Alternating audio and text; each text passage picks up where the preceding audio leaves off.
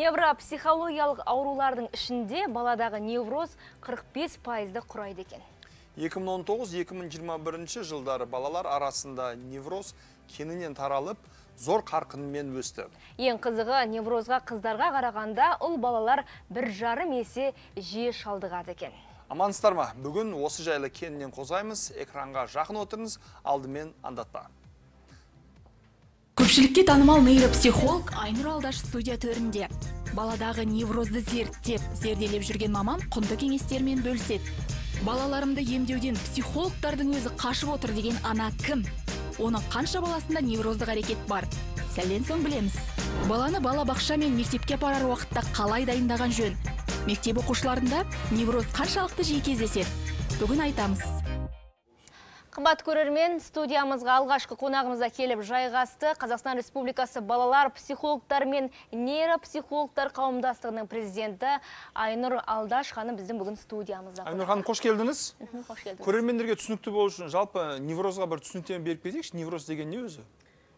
невроз дегеніміз бұл психоневрологиялық ауытқуларға жатады бірақ ол қалпына келетін ауытқуларға жатады яғни баланың миы баланың миы толыққанды сау органикалық түрде. Бірақ оның именно қызметі жағынан бір проблемалар бар деген сөз. А, балада ол әртүрлі көрінуі мүмкін. Ол а, жаңағы истерика шығарған кезде жаңағы құсу лоқсу да болуы мүмкін балада. Бала өзінің шашын жұлуы мүмкін оның жаңағы кірпігін жұлуы мүмкін тырнағын тістеуі мүмкін. Сонымен қатар бала түнде сүйіп қоюы мүмкін. Бұның барлығы невротический әрекеттерге жатады невротикалық. Негізгі белгілері осылар, иә? негізгі белгілер өте көп негізі. Жүз шақты белгі бар негізі. Жүз шақты. иә. Ал ең жиі кездесетіндері қайсысын айта, аламыз? ең жиі кездесетіндері бұл жаңағы невроз Яғни, навязчивый мынаны айтқым келіп жатыр. Қандай белгілерді көрген кезде ата-аналар мұқият болу керек, назар аудару керек. Негізі невроздың ең негізгі үш түрі болады иә? Иә ең негізгі үш түрі болады. Біріншісі бұл истерикалық невроз яғни бала өте қатты жылаған кезде құсып лоқсып бүкіл жаңағы терлеп а, жаңағы аузынан су ағып сондай бір әрекеттер жасауы мүмкін. Мысалы бір балалар жылаған кезде бір талып қалатындар да болады мысалы. Өте қатты сондай бір терлеп құсып қоятындары болады. Бұл әрекеттердің барлығы невротический әрекеттерге жатады иә? Одан кейін Екінші а, тип, иә екі- екінші типі бұл жаңағы неврастения дейді оны да? Иә бұл жерде балада апатия болуы мүмкін депрессия болуы мүмкін кәдімгідей психосоматикалық аурулар да болуы мүмкін балаларда. Яғни балалар бір депрессияда жүреді аналар білмейді не үшін бұл бала депрессияда жүр не үшін бұл апатияда жүр да? Ал шын мәнінде бұл невроз да болуы мүмкін. И оның Бұл үшінші неден пайда болады? Не үшін балада депрессия пайда болуы мүмкін? себептері әртүрлі болады ол травмадан бастап түрлі сондай созылмалы стресске дейін болады оның себептері. И соңғы енді үшінші түрі жаңағы обсессивно компульсивный дейді оны яғни бұл жерде бала қайтала- қайталанатын сондай әрекеттер жасай береді. Мысалы қайта қайта қолын жуа береді қайта қайта мысалы қолын сүрте береді бір нәрселерді санап жүре береді. Мысалы менің практикамда мынандай бала болатын ол садикке барып қорқатын. Сол кезде садикке жаңағы кірердің алдында жаңағы кабинетке кірердің алдында ол бүкіл жаңағы шалбарын былай тартып қоятын міндетті түрде. Егер соны тартпаса ана жаққа кірмейтін. То есть бұл прям навязчивый соның ә, жаңағы әрекеттері болатын да. Сондай әрекеттер көп. Қазір қарап отырсақ ә, невроздың жаңа айтып отырмын ғой оның проявлениялары көріністері өте көп. Әртүрлі, әртүрлі иә. жүз шақтысы бар негізі. Айнұр ханым, енді айтыңызшы, қандай балалар осы неврозға жиі шалдығады? А, жаңа өздеріңіз айтып кеттіңіздер негізінен бұл ұл балалар. А, екінші а, Бұның жағынан себебі неде? А, негізі ұл балалар а, кез келген кез келген проблема болсын иә аутизмде болсын ол жақта ә, міндетті түрде ұл балалар көбірек болады. Невроз болсын ол жақта да көбінесе ұл балалар болады. Мысалы қазір менде орталықта балалар бар көбісі ұл балалар. Сол үшін ер азаматтарды аяу керек. Мен сізге айтады ғой, психикасы әлсіз Кішкентай иә, Кішкентай кезден олар Ә, шын мәнінде қыз балалар көбінесе пысықтау келеді. Көбінесе а, жаңағы Стресске тұрақты болады, стресске иә? тұрақты болып келеді шын мәнінде сондай. Сонымен қатар қандай балалар неврозға шалдығады? Бұл жүйке жүйесінің әлсіздігі ең бірінші себеп. Яғни балалар жүйке жүйесі белгілі бір жүйке жүйесімен туылады. Иә біреуінде мықты болып туылады біреуінде әлсіз болып туылады. И вот әлсіз балалар жүйке жүйесі әлсіз балалар олардың неврозға деген шалдығу мүмкіндігі өте үлкен да. Оның өзінің жаңағы бейімдігі болады балалар бейімділігі. Мысалы кішкентай кезінде мынандай балалар болады ғой жылаған кезде мынандай талып қалады жылаған кезде көгеріп қалады иә мысалы аппақ болып сондай балалар болады ғой. Мысалы бұндай балалар уже истерический неврозға олар бейім болады иә. Сонымен қатар ә, түрлі жаңағы диагноздар бар мысалы минимальная мозговая дисфункция деген. Вот сол бал кішкентай кезінде осы проблемалар бар болатын болса бұл балаларда бейімділік бар бұл проблемаға. Жақсы. Айнұр ханым ә, тақтаға шығып осы ә, невроздың көрермендерге нақты көрінетіндей болып белгілерін симптомдарын жазып шықсақ ата аналар соны көрсін тақтаға жақсы. Қа- қалай осы осы нәрселер туындаған кезде біз назар аударуымыз керек деп сол белгілерін иә. жазып жіберіңіз ал қанша жастан бастап осы пайда бола бастады алғашқы белгілері? Өте кішкентай кезінде пайда бола бастайды тіпті екі жаста балада невроз болуы мүмкін. Бір ал жарым қоятын уақыты бар ма? Немесе сол өмір бойы кете беруі мүмкін ба? Енді үлкендерде невроз болады. Егер мысалы кішкентай кезінде ата аналары балада осындай предрасположенность бар екенін біліп та соны егер алдын ала жұмыс жұмыстанбаса әрине бұл үлкен а, ересек кезіне дейін ауысып жалғаса береді иә егер дұрыс иә. уақытылы емделмесе Иә, иә. Бұл жерде үлкен жаңағы психотерапиялық көмек керек болады да бұл жерде. Қазір а, бұл жердегі белгілерді айтатын болсақ, ең бірінші белгі әрине балада белгілі бір өзгерістер болады. Яғни бала ә, өте жақсы жүрді, иә, и бір өзгеріс, какой-то бір тревожность пайда болды балада, мазасыздық Бірден пайда болды. Иә. Бұл мазасыздық бірінші. Екінші, бұл апатия немесе депрессия болуы мүмкін, иә. Яғни бала көп нәрсе істегісі келмейді, тек қана патологқа қарап жатқысы келуі мүмкін, да, это тоже невроздың бір белгісі болады, иә. сонымен қатар үшінші бұл истерика жаңа айттым ғой истерика шығарған кезде жай ғана истерика емес бұл кәдімгідей соматический истерика иә өзін өзі тастап лақтырып құсып Терлеп терлеп деген сияқты иә. Сонымен қатар балаларда жабыспалы әрекеттер болуы мүмкін.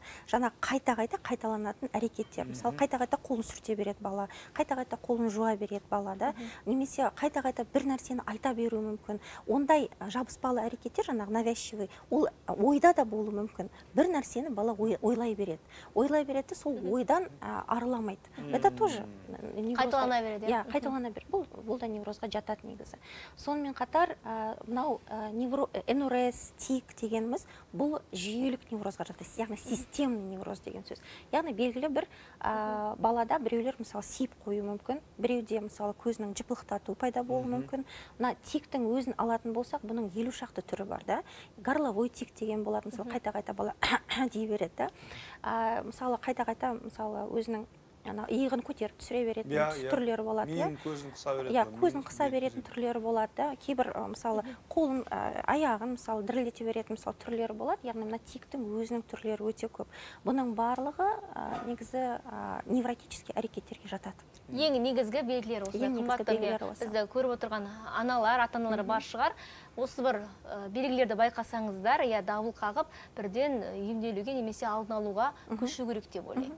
Иә әрбір ата ана менің ойымша өте мұқият болу керек кейбір кезде біз бұны баланың еркелігі ма- Иә. ма- мазасыздығы деп мән бермейміз құтырып жатыр деп айтуымыз мүмкін бұның үстіне қайтаға баланы ұру ұрсу жазалау әрекеттеріне бар бірақ бұлардың барлығы қарап тұрсақ невроздың белгілері екен айнұр ханым ә, сіз бұған дейін әлеуметтік желіде баланы неврозға итермелейтін үш сөз туралы айтқан болатынсыз иә не- не- невротик қылатын ба- ұл баланы невротик соны бір экранға назар аударайықшы біздің бір көріп алайық иә ұлыңызды невротик қылатын үш сөз. Егер қайта қайта осы сөздерді балаңызға айта беретін болсаңыз балаңызды невротик қылып тәрбиелеп шығуыңыз мүмкін. Ең бірінші сен еркек емессің ба не қыз сияқты майысып отырсың? Екінші өшір үніңді. Жұт ана жасыңды. Үшінші менен артық. Балам сені ешкім осы өмірде жақсы көрмейді. Оны ұмытпа. Осы үш сөз арқылы біз баламызды ұлымызды невротик қыламыз.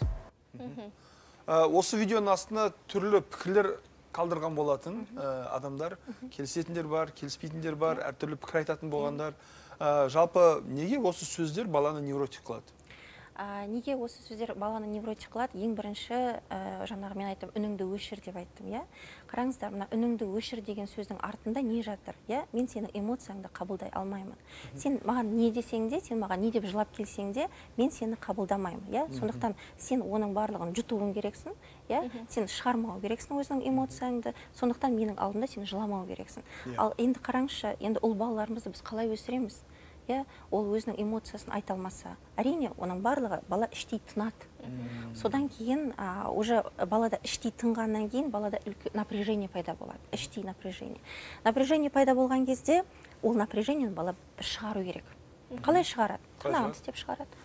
Жаңағы шашын а, іште тістеп шықпай қалған жиналған иә эмоция оның барлығы оның иә? барлығы это тоже агрессия шын мәнінде. невротикалық әрекеттермен иә шығады это невротик әрек- әрекеттермен шығаруы мүмкін да. Сонымен қатар жаңағы айттым сен- сенен басқа менен, менен басқа сені ешкім жақсы көрмейді деген бұл да сондай бір гиперопек опека жасайтын ананың сөздері да. Яғни қарап отырсаңыздар біз балаға не нәрсені көрсетеміз да. Біз менен басқа ешкім жақсы көрмейді. Значит біздің осы әлем осы сен өмір сүріп жатқан әлемің да өте қауіпті қауіпті өте Бәрі қауіпті дұшпан. иә. бәрі саған дұшпан мен сені қазір мен тек қана мен ғана қорғаймын ал бірақ олай емес қой иә. Шын мәнінде өте жақсы адамдар да бар. Ертең бұл адам бұл жігіт ертең өзінің жар таңдауы керек да. Сол кезде ол үнемі ә, мына жар маған келмейді. Мен тек қана мамам ғана жақсы көрмейді әйеліне де сенбей жүретіндер осы. Өмірі- да сенбей жүреді да сондықтан әрине бұл сөздердің барлығы оның астарында сондай не жатады да. Және өмір бойы осы сөздер баланың болашағына әсер Әрине, әрине. иә. Сон- бізге осы тұста хабарласқан көрерменіміз бар екен. Иә қоңырауды қабылдасақ. Қайырлы күн. Қалыңыз қалай? Тыңдап тұрмыз сізді қымбат көрермен. Алло саламатсыз ба саламатсыз ба қайырлы күн. Рахмет қосқандарыңызға. Саламатсыздар ма? Менің даусым естіліп тұр ма сіздерге. Естіліп тұр естіліп тұр. Айта беріңіз. Аха мен сұрайын дегенім менің кішкене қызым қазір он екіде жасы он екіде. Менің қызым ә, кішкентайынан ә, бес жасынан есінде қалғаны бес жасынан бастап тырнағын тістейтін мен ешқашан қызымның былай қолынан тырнағын алған емеспін. Бір күні қарап тұрсам аяғының тырнағын тістеп отыр жоқ қызым. Сол қазір ойлаймын да қазір он екі жаста мен қызымнан анда санда сұраймын. Өйткені уже переходной возраст сабаққа барып келеді кішкентайым бар қазір. Ә, айтамын да қызым сен осы сен тырнағыңды алып отырғаныңды көрмеймін сенің деймін даші Аха. ол мама мен алып жүрмін ғой деп бірақ мен ойлаймын әлі де тістейді. Кейде бүйтіп сабақ оқып отырады тістеп отырады қолын тістеп отырады всегда тырнағын тістеп отырады. Ол осы неврозға жата ма ол да сонда осы диагноз ба көрерменнің сұрағы. тырнақ тістеу өте жиі кездесетін өте жиі кездеседі иә тырнақ тістеу біз осы тек қана тырнақ тістеу арқылы балада невроз деп айта алмаймыз негізі. Бірақ бұл невротический әрекеттерге жатады иә. Ә, бұл кейіпкердің айтуы бойынша 5 жастан бастап бала тырнағын тістейді уже жеті жыл өтті жеті жыл өтті. И бала өзінің ішіндегі бүкіл агрессиясын өзінің ішіндегі болған мұңын да осылай шығарып жатыр иә. Неге ондай болды? Иә бұл жерде мен а, енді міндетті түрде егер консультация келетін болса мен міндетті түрде анамнез аламын да баладан. Жалпы бұл баланың ә, қалай бұл бала босанды қалай дүниеге келді? Иә бұл маған өте ма- маңызды. Босанудан басталады ма? әрине да. Өйткені егер мамасының өзінде өте үлкен стресс болатын болса иә әрине а, балаға беріле ме? әрине балаға беріледі. Иә ол не то что ә, балаға балаға ең бірінші ананың денсаулығы маңызды да. Ананың денсаулығы мықты болу керек. Сол кезде міндетті түрде мен сұраймын қашан ол ә, сіздің қызыңыз жалпы не болды иә? Осы бес жаста бір нәрсе болу керек та балада бір какой то бір глобальный бір стресс болу керек иә? Немесе бір травма болу керек немесе бір ә, жаңағы біз айтамыз ғой стресс деген кезде бала үшін стресс ол просто садикке бару да болуы мүмкін. Айнұр ханым Иә. енді ә, бұл кісі қазір сіз айтқаныңыз бойынша ойланып анамнез жасап не түрткі болғанын анықтайды. Иә. Анықтағаннан кейін қазір 12 жасар баламен не істеу керек? ең біріншіден ата ана не істеу керек? маманға апару керек иә. па не жасау керек? А, негізінен а, 12 жасқа келген балада міндетті түрде бір ішкі конфликт болады. Иә? Ішкі внутриличностный конфликт дейді да оны. А, бұның себебін біз психотерапия арқылы біз анықтауымыз керек міндетті түрде иә? Бұл бірінші иә? Екінші біз міндетті түрде яғни маманға апару керек маманға апаруымыз керек иә? Екінші біз а, мынау тырнақ әрекетінен тырнақ тістеуден басқа бір әрекетке ауыстыруымыз керек иә? Мысалы тырнақ тістеудің орнына біз баламызға ә, мысалы бір кинетический песок беріп қоюымыз мүмкін иә? Бір түрлі мысалы антистресс ойыншықтар болады. Иә, мыжып отыратын, ойыншықтар да. бұларды бұл антистресс ойыншықтар деп бекер айтпайды ғой оның барлығын иә? Егер балада сондай әрекеттер бар болатын болса яғни тырнақ тістеуден вот сол жаққа қарай өткізуіміз керек міндет біздің жалпы терапия жасаған кезде мақсатымыз сол болады. Мысалы маған консультация келген кезде мен а, осындай подросток қыздарға айтамын жеткіншек қыздар давай сен өзің барасың соны тапсырма беремін да сен барасың. Кез- магазинге детский магазинге барасың сол кезде жаңағы өзіңе ұнайтын өзінің жаңағы сезіп по ощущениям саған қандай мысалы ойыншық ұнайды именно антистресс да? Комфорт саған сыйлайды соны алшы соны таңдап алшы. И а, сол кезде мүмкін.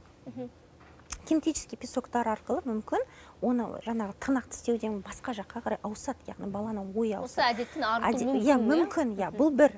Бірақ екінші нәрсе біз міндетті түрде баланың режимін дұрыстап қалыптастыруымыз керек. Қазір балаларымыз дұрыс ұйықтамайды. А, қазір балаларымыз түнде айнұр ханым сөзіңіз аузыңызда да ол жайлы иә қазір кеңінен айтамыз. Бізде мысалы жаңа айтып жатырмыз ғой тырнақ тістеу деген әдет әлі күнге Иә. дейін жалғасып жатқан жандар бар екен. Жасы 28-де біздің кезекті кейіпкеріміздің арнайы видео жолдап отыр. Осы видеоға назар салып көріп менің жасым сізге жиырма сұрағы бар. сегізде. Мен мына тырнағымның айналасындағы еттің барлығын ы, жұлып жеп қоя беремін бұл ауру балаларыма да жұға ма деген қорқынышым бар. Осы жиырма сегізге келсем де мен ы, бұл аурудан құтыла аламын ба? Және бұл ген арқылы балаларыма жұғып кетпей ма? Осы сұрақ менде қатты алаңдатады міне невроздың уақытылы емделмеген кесірінен әлі күнге дейін ол кісіде осы тырнақ тістеу деген әдет бар екен. Екі баласы бар екен бұл кісінің. Және осы бір әдет балаларыма да беріліп жатыр дейді. Қалай тоқтата аламын дейді емдеуге бола ма? негізінен негізінен ешқандай деректер жоқ та бұл тұқым қуалайды деген. Негізі ешқандай деректер жоқ. Бірақ не үшін баласы қайталап, қайталап жатыр? Өйткені ол әкесінен көріп отыр. А, көру арқылы. Көру арқылы яғни сол балаға копировать етеді дейді ғой. Қайталап жатады. қайталап жатады. Но кейбір ата аналар тырнақ тістейтін кезде балдардың саусақтарына ұрады. Дұрыс емес. Тістемес үшін содан арылу бояп қоятындар болады мәселен бояп қоятын болады біресе Арнайы. жабыстырып қоятындар иә, болады. бояп қоюға да болады. Иә кейбір ата аналар мысалы бір нәрсе бір жаңағы тұз сияқты бұрыш сияқты нәрселерді мысалы жағып қою да мүмкін иә? Дәм бар иә бірақ бұл қашан көмектеседі? Бұл енді ғана басталып жатқан кезде көмектеседі. Негізі бала оған қарамайды. Ол тұз жақтың ба лак жақтың ба не жақтың ба бәрібір негізі. Айнұр ханым сіз бағана 12 жасар баланы ал э, ересек невроздан- азамат қалай құтыла алады мәселен невроздан жиырма арылу үшін не істеу керектігін айттыңыз. Иә. енді мына айнұр ханым айтқандай э, 28 жасар кісіге де тура сол жолдармен арылу керек па немесе басқаша жолдар бар ма? А, әрине бұл жерде бұл ересек адам иә? Егер бұл адам өзінде проблема бар екенін білетін болса міндетті түрде ол өзі психотерапевтке бару керек иә? Бірақ мынандай нәрсе бар. Бұл менің өміріме жаңағы мешает жить или не мешает жить деген нәрселер бар да. Кейбір адамдар вот тырнағын тістей береді да но реально э, не мешает это жить. Иә кәдімгідей өмірімді сүремін иә кәдімгідей бала шағамды асыраймын ну тырнағымды тістеймін онда тұрған не бар деген сияқты деп айтуы мүмкін иә ақша құртып неғыламын Иә, психологқа барып мен оны. Осындай кезде егер сізге осы проблемамен өмір сүру нормально болатын болса иә әрине өзіңіз білесіз. Жүре беріңіз. жүре берсеңіз де ол сені мазалап отыр мазалап отырған егер мазаласа егер мазаласа иә менде осындай проблема бар екен бала адам түсінетін болса әрине маманға барып жүгіну керек. Мына жерде балада олардың оның балаларында да жаңағы тырнақ тістеу қаупі бар негізі. Неге? Өйткені ол көреді. Ол бәрібір а- әкесінен көреді оның барлығын. Тұқым қуалайтын дүние емес иә? Ол көргенін дүние қайта емес. қайталап ондай отыр негізі ешқандай дерек жоқ негізі. Ешқандай ондай зерттеу де жоқ иә? Тұқым қуалайды невроз деген. Бірақ ә, шын мәнінде не нәрсе тұқым қуалайды иә? Жүйке жүйесі. Мысалы әкесінде жүйке жүйесінің әлсіз болады.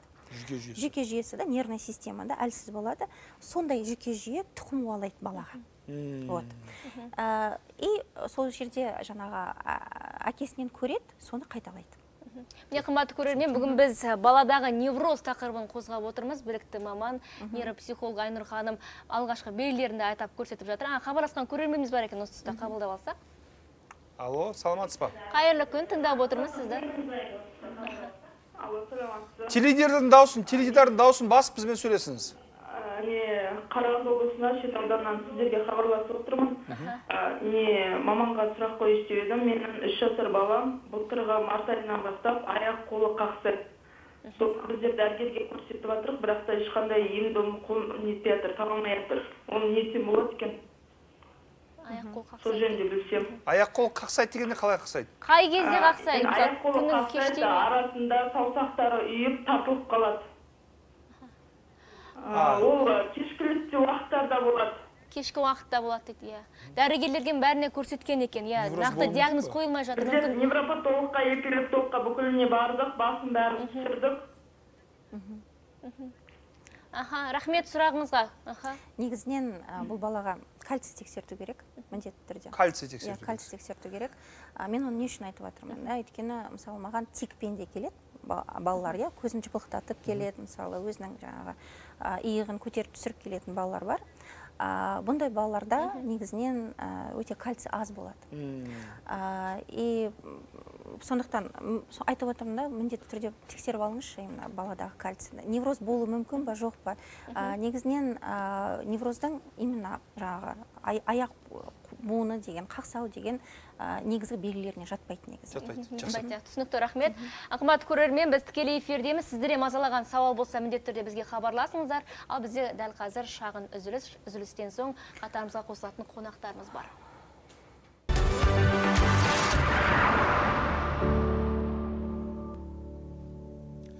Юнисеф ұйымы жүргізген сауалнама бойынша еліміздегі барлық ата-ана баладағы невроз жайлы естігенімен нақты оның анықтамасын қалай көрініс табатынын салдарын білмейді екен.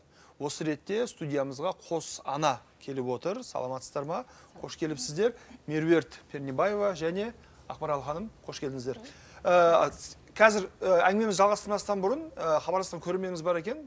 Соны жауап берейік одан кейін жалғастырамыз. Алло саламатсыз ба? Қайырлы күн тыңдап отырмыз сізді алло қайырлы күн айта беріңіз иә тыңдап отырмыз иә менде жаңа сұрағым бар еді м, жаңа көрген ә, менің інімнің баласында мынандай диагноз бар да ол кішкене жылайды ғой жылаған кезде жаңа шалқалақтап құлап қалады талып қалады уже бір жылдан асты сондай ауру болғаны больницадан больницаға біз уже қаралдық кеше соңғыда қаралғанда начинающий эпилепсия деген сияқты қылып диагноз берді бірақ емделдік ондай результат жоқ әлі. Баланың жасы нешеде? Баланың жасы екіде. нешеде? Екіде дейді. Жақсы рахмет. Айнұр ханым? жауап берсеңіз. Иә бұл жерде ананың айтып жатқаны бұл арс деп аталады жаңағы синический респираторный синдром яғни жаңағы бала жылаған кезде қатты талып қалады жылап қалады истерика болады деген сияқты иә. Ондай балаларда болады. Енді осы жерде өкінішке қарай бізде жаңа эпилепсия басталып жатыр деп айтып жатыр. Әрине бұл жерде емделу керек. Міндетті түрде сонымен қатар а, баланы жаңағы психологиялық жағынан сүйемелдеу керек міндетті түрде. Иә режим дұрыстап қалыптастыру керек бала дұрыс ұйықтау керек жаңа тамақтану барлығы барлығы жаңағы Уақытымен болу керек, уақытымен жоспарлы түрде болу керек міндетті түрде. Өйткені бұл балалардың ең бірінші емі барлығын жоспарлау. Иә біздің өзімізде мысалы болады ғой біз ә, білмейміз алдымызда не күтіп тұрғанын иә? Сол кезде біздің мазасыздығымыз көтеріледі. Тура солай. Иә белгісіздік. Мазасыздық көтеріледі сол кезде. Балалада да сондай. Яғни бірінші ол түсіну керек. Мен тұрам тұрғаннан кейін жаңағы кішкене тамағымды ішемін содан кейін ойнаймын содан кейін далаға шығамын содан кейін тағы да ұйықтап аламын содан кейін яғни барлығы жоспарлы түрде рет ретімен кетеді. Осыны міндетті түрде жасап отыру керек бұл баламен. Сол кезде сол кезде шешіледі иә мәселе өзімен шешіледі деген кезде бұл баланың өзінің ресурсына да байланысты. Кейбір балалар жаңа жүйке жүйесі өскен сайын жаңағы нығаяды ғой жүйке жүйесі. Сондықтан ә, өзімен де шешіліп кетуі де мүмкін кейбір балаларға көмек керек. Меруерт ханым енді ә, өзіңізбен жалғастырайық. Жалпы бағана айтып кеттік қой статистика бойынша юнисеф ұйым ата аналардың көбісі невроз не екенін біледі бірақ салдарын түсіне бермейді. Сіз жалпы невроз деген ұғыммен қашан түсін таныстыңыз қалай түсіндіңіз? Қалай ондай Ең- диагнозға ең келдіңіз? үлкен негізі ы, 15 жасар балам баламда болды.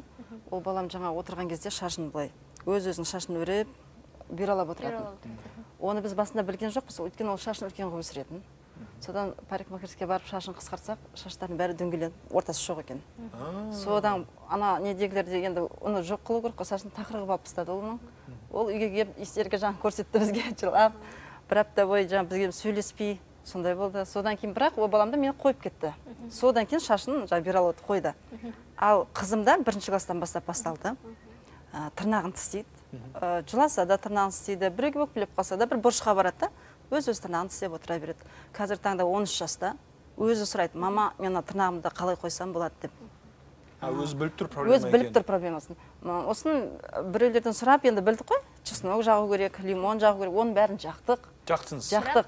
Бірақ қызым Маникюрге бардыңыз ба? Маникюрге? Жоқ барған жоқпыз. Оны тырнағын мен алмаймын тырнағын алған емеспін осы уақытқа сөзіңіз аузыңызда бізде осыда хабарласқан көрерменіміз бар екен иә. Қоңырау қабылдасақ қайырлы күн біз сізді тыңда- тыңдап отырмыз. Қымбатты көрермен иә айта беріңіз. Иә саламатсыз.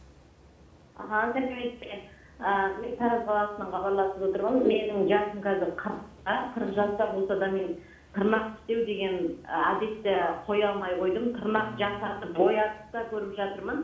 Үстіне тырнақ бір сағат көріп жатырмын. Қоя алмаймын. Себебі ол пластмассың өзін тістеп жеп қоямын ғой мен. Не себеп қоя алмаймын өзге. Тырысып көрдіңіз талай рет иә? Балаларымда ондай әдет жоқ. Балам төрт жастағы балам бірақ түйме неге мазаға түйме тігіп қойған көп қылып ал ол түймесіз ұйықтамайды. Ал мен тырнақ тістеп бітірдім передача көріп өз өзімді ойымды көрсем де мүмкін емес қойын қырыққа келдім бірақ қоя алмай жатырмын осы әдеттен ала алмай жатырмын. Бүк- бүкіл елді тырнақ тастау мәселесі басталып жатыр соны шешіп берсек бүкіл невроздан арылатын сияқты біз енді бұл енді 40 жасқа келген кісі. Неге баласында да ал баласында да осындай бір иә қайталанатын әрекет бар. Түйме ұстамаса ұйықтай алмайды екен ол кісі. Ол да невроз ба жоқ неврозға жатпайды ол бірақ ә, бір пр- проявлениелер ретінде яғни көрініс ретінде болуы мүмкін иә. Ә, жаңағы ә, бұл жерде алғашқы қоңырау болуы мүмкін иә алғашқы қоңырау болуы мүмкін. Мен айтып отырмын ғой бұл жерде ә, жаңағы невроз ол әртүрлі көрінуі мүмкін иә. И біз мысалы тырнақ жаңағы тырнақ жеуін қойдырсақ мысалы ұрысып ұрып иә баланың қолынан ұрып та балада басқа жерінде пайда болуы мүмкін иә. Мысалы жыпылықтату көз жыпылықтату пайда болуы мүмкін иә. Тырнағын жеуді қойды бірақ шашын жұла бастады деген сияқты. Ол бір біріне өтіп отырады негізі. Сондықтан біз оны ұрып ұрысып ешқашан қойдыра алмаймыз иә. Мына жерде 40 жасар кісі неге егер действительно балаға адам а, дискомфорт алып келетін болса негізі бұл проблема неге ә, психотерапевтке бармайды? Өйткені бұл жерде өте сондай үлкен бір травмалар да жатуы мүмкін. А, бұл жерде иә үлкен бір ә, жаңағы ә, бұл кісі өткере алмай жатқан бір үлкен бір стресс те жатуы мүмкін. Өйткені әм, бала адам тырнақ тістеген кезде белгілі бір удовольствие алады. Адам шашын жұлған кезде тоже бір удовольствие алады негізі. Көріп отырсыз иә ба? еріксіз қайталай береді иә не үшін ал енді бәрі- ханым сізден иә. сұрап көрейікші қызыңызды бір арнайы мамандарға апардыңыз ба? Осы мәселе сізді мазалады көріп отырсыз иә? Өзіңіз барынша тырыстыңыз бірақ тоқтап жатқан жоқ. Тоқтап жатқан жоқ иә арнайы мамандарға апарған жоқпын. Бірақ елдер айту бойынша жаңағы чеснок жақ ә, лимон жақ алоэ жақ деді. Тістеген кезде тырнағы ащы болады деп. Оны істедік ол қызым айтады мама мен одан қоя алмаймын деп сұрады өзі. Тағы басқа не бар соны сұрап білші деп маған айтады. Уже жаңа жасөспірім қыздарды мен оларға айтамын маникюрге апарыңыз деймін. Маникюрге апарды апарыңыз маникюр. Неге мен маникюрге апарыңыз деп айтамын?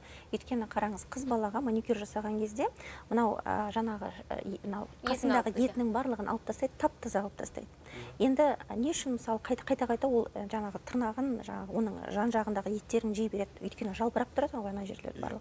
Жалбырап тұрады. Сондықтан оның бәрін тап таза қылып алып тастау керек. Сондықтан ең біріншіден жейтін нәрсе қалдырмау керек. Жейтін нәрсе қалдырмау керек дұрыс айтасыз.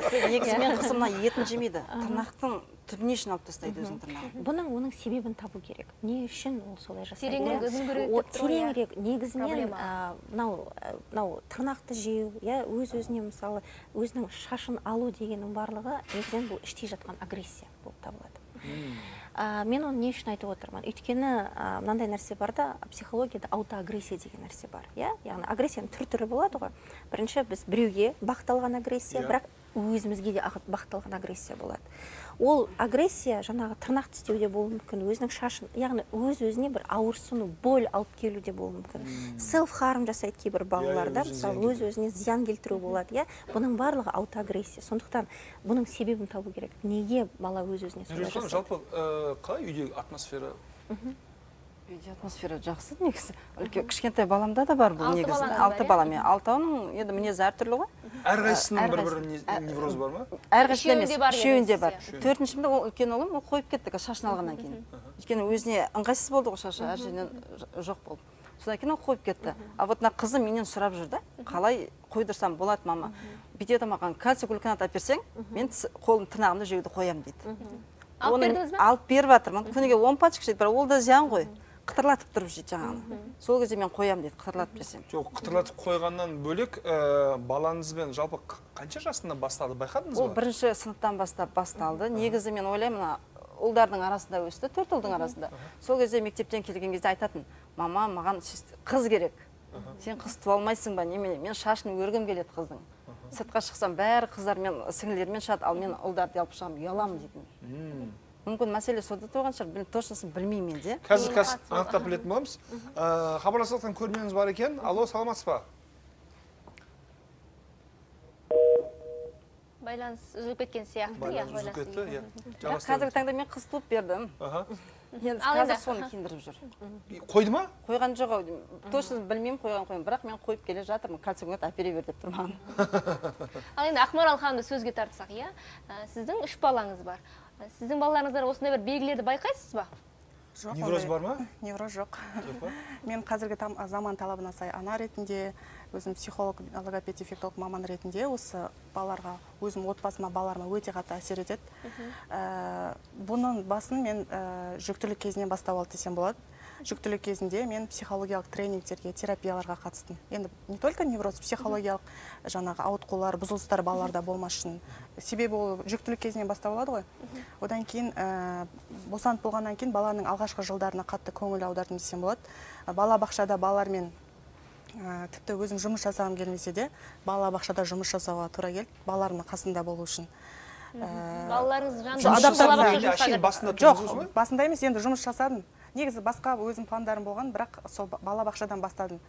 Ә, енді оны жаман деп айтып жатқан жоқпын ол оның да пайдасы көп болды. Балалар чтоб неге жаңағы балабақшаға үйренсін адаптациядан өтсін деген мақсатпен Ә, содан кейін баланың мектепке барған жылдары қатты көңірек, көңіл бөлдім десем болады. Үлкен ұлым екінші сыныпта оқиды Ә, балалармен достармен қарым қатынасы сыныптағы сабағы ортасы. Сонымен қатар балаларға тағы не әсер етеді жаңағы әлеуметтік сыртқы ә, психологиялық жағдайлар да әсер етеді ғой. Сонысына да көп мән бердім. Ә, хобби ретінде өздері нені жақсы көреді сол не бағыт бойынша курстарға ә, жаңағы спорттың түрлеріне апарып қатыстырдым. Сонымен қатар дұрыс тамақтануы жаңағы ұйқысының дұрыс болуына мән беремін. Осының нәтижесінде қазір балдардың бойында невроздық әрекеттер белгілер жоқ деп жоқ негізі жоқ. Иә. бірақ болады енді реніштер жоқ кішігірім жоқ жоқ именно Иә. бүгін тағымыз невроз иә, болғандықтан иә. Ондай невроздық не жоқ. Ә, тырнақ алу туралы көп айттық бірақ айнұр білесіз ба ә, жалпы тырнақ алудан басқа шашқа байланысты шаш жеуге шаш жұлуға байланысты да невроздың түрі бар екен. Осы орайда соңғы 5 ай ішінде алматы қаласында 11-13 жасар екі қыздың 10 жасар баланың 17-дегі бой жеткенін асқазанынан 1 килограмм шаш шықты. Дәрігерлер маңғыстауда 15 жасар қыздан жұдырық көлемінде ал қызылордада 4 жасар ұлдың ішінен бір жарым килограмм шаш алып шықты.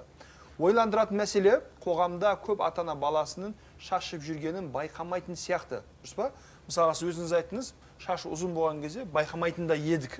Байқамайтын едік шаш алғаннан кейін ғана осындай бір орындар бар екенін байқап қалды. Бұл ә, шаш өру туралы айнұр ханым айтып кетейікші. Жалпы бұл да ә, неге? Мысалы айырмашылық бар ма? Мынандай адамдар тырнақты ұнатады мынандай адамдар шашты ұнатады дегендей.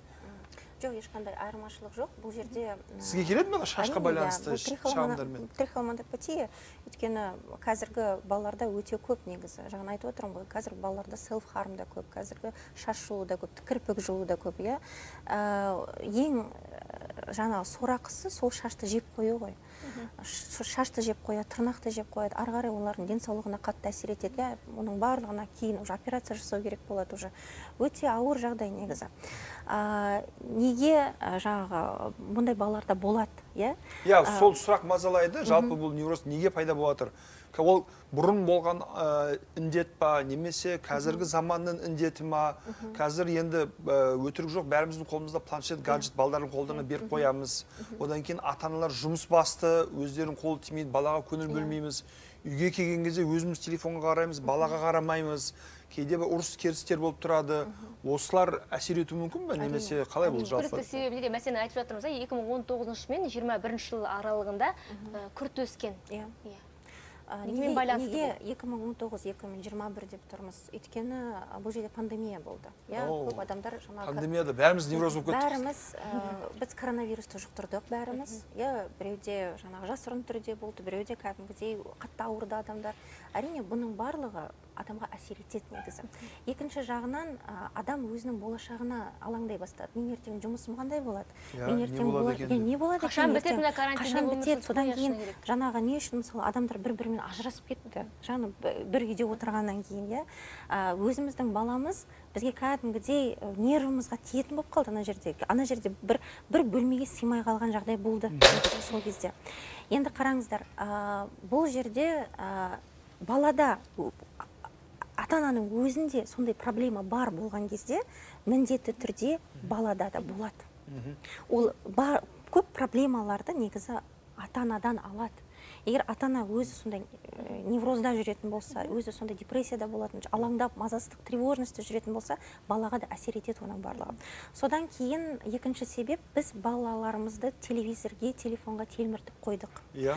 Бұл өте үлкен проблема негізі. Оны оны ата ана ретінде біз наоборот неврозды басу үшін істейміз ғой. Жылап жатса жылама деп бере саламыз жұбата саламыз ғой осылай. Жоқ ол дұрыс емес. Негізі негізі көп ата аналар ойлайды а, менің балам үйге келеді бала демалу керек. Қалай демалады телефон телевизор қосып қойып демалады шын мәнінде бала демалмайды бұл жерде баланың мына жүйке жүйесіне өте үлкен жүк түсіп жатыр қазір иә? Енді осы ә, жиналған жүк иә қысым иә? Напряжение ол қалай шығады иә? Бұл қалай шығады? Ұйықтай алмайды бала кешке жақын иә? Егер бала деген мынау күнде жүгіреді жүреді. Кешке жақын кәдімгідей мынау жүйке жүйесі қозудан тежелуге қарай түсу керек иә? Яғни бұл жерде балада керісінше возбуждение болады да түсінікті. иә біздің бүгінгі тақырыбымыздың қозғап отырған өте өзекті екенін байқасақ болады. Себебі бізге күн хабарласып жатқан көрермендеріміз өте көп. Бағдарлама басынан бері 20 шақты қоңырау түсті. Қазір соның бірін қабылдап алса қайырлы күн. Қымбатты Алло. көрермен біз сізді тыңдап отырмыз иә саламатсыз ба А, алматыдан иә хабарласып тұрмын менің балам қазір он жаста екінші класс кезінде сегіз жасынан бастап ә, тұтығып сөйлеп бастады Ә, не негізі логопедке апарғым келген ә, бірақ бір кісі үйдің жанында өзімнің көршім қызымды апардым ешқандай көмегі болған жоқ логопедтен дегеннен кейін мен де апармадым бірақ мынандай жаңағы қорғасын құяды қорыққан бала содан шошынған дегесін мен мынандай оқитын сондай емшіге бір апардыңыз. әйелге апардым. Иә емшіге апардым жаңағы қорғасын құйды қорыққан бала. Бірдеңеден деді әйтеуір. Мхм. сөйтіп емделді ме одан, енді? бірақ одан да кеткен жоқ. Баланың тұтығуы әлі тұтығады арасында жағдай тұтығып сөйлейді. Сұрағыңыз қандай біздің қалды. маманымызға қояр. Баламның тұтығуын қалай не қылсақ болады кетірсе болады. Содан кейін үлкен баламда жаңағы шашты былай бюролау дей ма? Шашын бүйтіп ұстап Иә. отыратын бір әдеті бар айналдыра беру иә. Ол да неге сондай не бар? Невроз. Невроз. Невроз. Иә. Үлкен ұлымда оны мен кейін қазір байқап жүрмін бұрын оны байқамайтынмын. Шашын былай не бір саусағымен бүйтіп бүйралап отырады да постоянно. Жақсы рахмет. Түсінікті хабарласқаныңызға көп рахмет қымбатты көрермен. Ал енді айнұр ханым не дейсіз? Екі бірдей баласында иә осындай проблема болды. Тұтығудан құтылу мүмкін бе? Тұтығу дегеніміз ол логоневроз. Оның а, бұл жерде а, анасы арнайы маманға апару керек иә. Арнайы оның мамандары болады зоокулог деген иә. Оған апарса болады негізі. А, негізі тұтығу ол да қорқып қалғаннан да болады. А, белгілі бір қатты бір ауыр бір бала стресс алғаннан да болады. Жаңағы бір острый стресс деп атайды содан да болады негізі. А, немесе кейбір балаларда прям кішкентай кезінен жай мен жаймен жаймен басталады негізі. Бірінші мысалы ата аналар оны ә, жаңа байқамайды. Өйткені ол айына бір ақ рет қана болады иә. Содан кейін аптасына бір ақ рет болады. Содан кейін уже жиіленіп жиіленіп уже жиі болған кезде бала жиі тұтыққан кезде уже сол кезде байқ- бірақ бай- байқай бастайды. Осы жерде айтарым әрине өзінің маманына апару керек. Зооколог содан кейін ә, бұл жерде біз ә, міндетті түрде баламызға ә, дұрыс демалуды да үйретуіміз керек. Дұрыс демалуды үйретуіміз керек. Иә. Жақсы. Тағы да хабарласқан көрерменіміз бар екен. Бүгін біздің студиямыз телефонына тыныштық тыным жоқ. Көптеген ата аналарды бұл мәселе мазалап отқан сияқты. Келесі көрерменіміздің телефон қоңырауын алайық алло саламатсыз ба? Алло саламатсыз ба? Менің сұрағым бар еді. Балам бес жастан асқан. А, әлгінге дейін түнде төсегіне сиіп қояды. Одан кейін тілін әлгінге дейін бөкелер сияқты мәмі емген сияқты еміп тұрады әлгінге дейін сөйтіп жүреді. Одан кейін футболкасын бір жирасын үнемі тесіп алып соны шұқылап тұрады. О, нулевой классқа берген едім. Биыл барғалы бері ыңылдап мындай заикаться етіп сөйлеп қалатын болды логопедке спортқа бердік бердік бірақ сонда да қайтадан басталып келе жатыр жаңағыдай нәрселері. Рахмет ха сауалыңызға біз қымбатты көрермен біз енді әлеуметтік желіде парақшамызда осы тақырып бойынша арнайы сауалнама жүргізген едік. Иә көпшілік жаңағы біздің оқырмандарымыз осы ә, негізгі белгілерін атап жатыр иә? Хабарласқан жазған көрермендеріміз өте көп. Осы энурезді осы ата аналарды көп мазалайды екен. Яғни ұйқыда жатып бала иә еріксіз иә Жіберіп іші дәретін жіберіп қояды. А, бұл бұл жерде проблемадан қалай арылуға болады?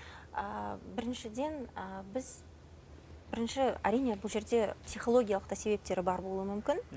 Екінші жағынан физиологиялық та себептері бар болуы мүмкін. Сондықтан біз ең біріншіден мына ата анаға айтарым бүкіл физиологиялық себептердің барлығын алып тастауымыз керек иә?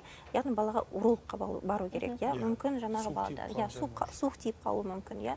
Содан кейін жаңағы баланың бүйрегі де ауыруы мүмкін. Балада жаңағы функционально маленький мочевой пузырь деген болады мысалы балаларда. Сонымен қатар жаңағы мүмкін балаларды невропатологқа да апару керек шығар да? Яғни бүкіл физиологический проблемалардың барлығын шешіп тастағаннан кейін уже біз психологияға келуіміз керек иә? сол жерден уже іздейміз иә? Өйткені біз балада бұл жерде бір нәрсе болып қалды сіз баланы ұрасыз оны ұрсасыз дегеннен деп м, болмауы да мүмкін. Бірінші физиологический проблеманың барын шешіп алайық иә? Сосын уже психология. Егер психологический проблемаларға келетін болсақ бұл жерде ә, бұны энорезді басқаша сөзбен айтқан кезде бізде плачнизм деп айтады. М, плачнизм дейді. яғни бала өзінің ә, жаңағы сыртқа шығара алмаған кезде иә өзінің жасын сыртқа шығара алмаған кезде бала түнде сүйіп қоюы мүмкін. Яғни осындай да жағдайлар болады. Ә, бұл жерде әрине ә, толыққанды анамнез алу керек бұл, бұл анадан қай кезде пайда болды. Мүмкін ә, бұл анаға міндетті түрде ә, күнделік жазу керек. Күнделік жазу керек. қай уақытта бала сүйеді? Мысалы телевизор түнде көрді түнге дейін. Сол уақытта сүйді ма жоқ па? Жазып отыру керек. Түнде бала көп су ішті ма? Егер көп су іш- ішкен кезде пайда болса значит соны жазып отырады. Бір күні су мүмкін мүлдем бермей қояды. Егер сол күні тоже сиетін болса тоже оны жазып отыру керек. Негізі анасы өзі Бақылап отыру керек бақылап отыру керек. Түсіну керек. Бақылап қай отырып уақытта бала иә, артындағы себебін табуға бізге болады. тағы хабарласып жатқан көрермен бар екен? Алло саламатсыз ба? Қайырлы күн иә тыңдап отырмыз. Сәлеметсіз мен қарағанды қаласынан хабарласып тұрмын. Иә а, менің сұрағым бір жас тоғыз айдағы қызым бар. Алло. Иә иә. Сол бір жас тоғыз айдағы қызым всегда жатқан кезде өзінің кіндігін шұқылап жүреді. Осы неврозға жата ма өте жақсы. Ә, телефоныңызды қоймай тұрыңыз. Бізде қазір үзіліс үзіліс кезінде маманымыз жауап береді. Құрметті көрермендер экраннан алыстамаңыздар. Өте өзекті тақырып талқылап отырмыз. Ә, үзілістен кейін жалғастырамыз.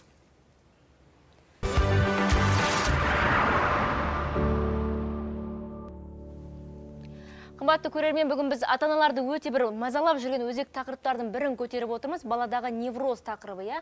Біздің міне келген меймандарымыз да айтып жатыр. Өз мәселелерімен бөлісіп жатыр. Тағы бір ә, қатарымызға мейманымыз келіп қосылды. Мектептегі педагог психолог маман әйгерім мәлиханова ханым. Әйгерім ханым қош келдіңіз. Мен меруерт ханым өзінің екі бірдей баласында осы невроздың белгілері бар екенін айтып жатыр. Мектепте жалпы осындай балалармен қаландай жұмыс атқарасыздар? Көп па жалпы бұндай невроздағы балалар әрине қазіргі таңда ә, осындай неврозды балалар өте көп өте көп. Қандай белгілерді жиі байқап жүрсіз? жиі жаңағы шаш жұлу ә, тырнақ тістеу ә, және де қолдарын былай тырналау сондай ә, жайттар көп кездеседі әрекеттер Аха, балалардың осындай жайттарды байқап жүрсіз а? Енді қандай жұмыс атқарылып жатыр ондай балдармен Ә, бұндай балалармен ә, иә. да, бұндай балалармен ә, көбінесе балалар ә, өзін жаңағы сенімсіздік ә, мазасыздық басым болады бұндай балаларда ә, және де ә, сыныпта қарым қатынас ә, жағдайда өзін өзін алшақ ұстауға көбінесе бой алдырады. Сол себептен ә, сынып арасында қарым қатынасты жақсарту барысында түрлі жаттығулар жүргіземіз біз. Ал былай балдарды бір жеке шақырып сөйлесіп қандай бір терапия жасайсыздар ма? жеке міндетті түрде біріншіден жаңағы ата анасымен жеке сұхбат болады. Себеп салдарын анықтаймыз.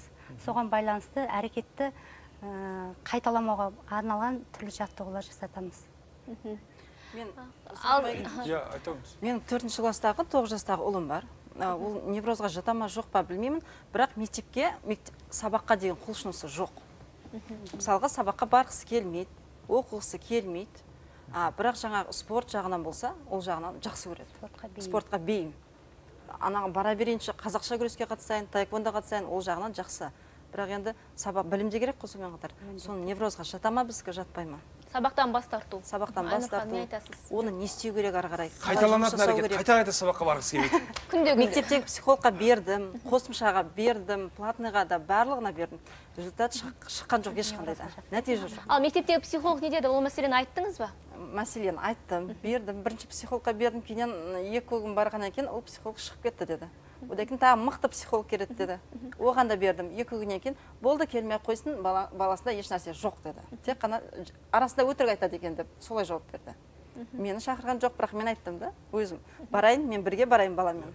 Көрейін бірақ ол жағын ешнәрсе айтпады ашып. Жоқ айнұр ханым енді сіз айтыңызшы баланың сабаққа баруға ынтасы болмаса бұл да бір невроздың белгісіне жата ма? Жоқ. Негізі бұл невроздың белгісіне жатпайды.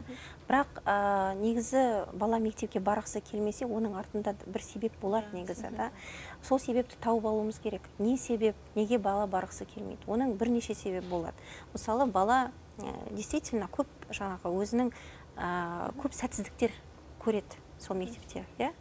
Жаңағы тақтаға шығарады ананы шығара алмайды мынаны шығара алмайды. Содан кейін не істейді? Лучше мен бармағаным жақсы деп ойлайды. Иә бұл бірінші себеп. Екінші себеп ә, бұл біз білмейтін мүмкін балада буллинг та болуы мүмкін балада. Сондықтан осы жерде жалпы ата аналарға айта, айтарым балалармен кәдімгідей сөйлесу керек да? неге неге не- неге бұл осындай болып жатыр иә? Оның артында всегда себеп бар. Осы жерде әрине ең бірінші баланы білетін танитын ол анасы. Анасы әке шешесі болды. Өйткені маған мысалы психолог алып келеді и айтады менің балам туралы айтып берші дейді. Сонда мен ойлаймын да неге мен ә, сонда мен оны қазір бір ақ сағат қана жаңағы баламен жаңағы диагностика жүргіздім жарайды иә.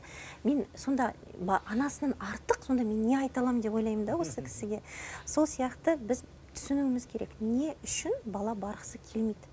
Себеп бар. А, бұл жерде жаңағы мүмкін иә кейбір балаларда мына жоғары психикалық функциялар деген болады иә мысалы баланың зейіні нашар болады жаңа ойлауы жаңағы ә, зейін қоюы жаңағы есте сақтауы сол про- процестердің барлығы нашар болады кейбір балаларда. Егер сол проблема бар болатын болса онда оған коррекция жасауға болады. Яғни бұл жерде біз түсініп алуымыз керек. Не мотивация да болуы мүмкін оның ішінде жаңағы қарым қатынас проблемасы да болуы мүмкін. Просто жаңағы негізгі мақсатты табу керек Иә, иә. Проблеманы триггер иә триггер қандай әйгерім ханым ал сіз мысалы мектеп психологы ретінде көбінесе қандай жастағы балалар невроз белгілерімен келеді? Ә, орта буында балалар келеді бізге. Орта буын. орта буында оны біз былай бір жасөспірім кезіндегі мінез құлықпен шатастырып жібермейміз ба? Мысалы әр нәрсеге невроз он деп екі, он айта екі беру. жастағы балдар. Жоқ неврозбен жаңағы жасөспірімдік шақтағы екеуісінің айырмашылығы бар. Айырмашылығы соны айтыңызшы ата аналар да білсін шатастырмасын. жасөспірім шақтағы жаңағы психофизиологиялық дағдарыста балаларда ә, жаңағындай ә, мазасыздық бойларында болады депрессия ә, шаршаңқылық. Сондай ә, балалардың бойында табылады. Ол кезде және де жаңағы тікелей бірінші ата анамен жеке жұмыс жүргізіледі. Себеп салдарын анықтаймыз жағдайда. Түсініспеушіліктер орындалып жатады жасөспірім шақтарда қазір бізде. Біріншіден сол ең біріншіден ата ананың тәрбиесі ата ананың бақылауы ата ананың мейірімі қажет ол жағдайда Айнұр ханым мынаны айтыңызшы жалпы біз эфир барысында невроз туралы көп айттық. Белгілері не болады не қылады.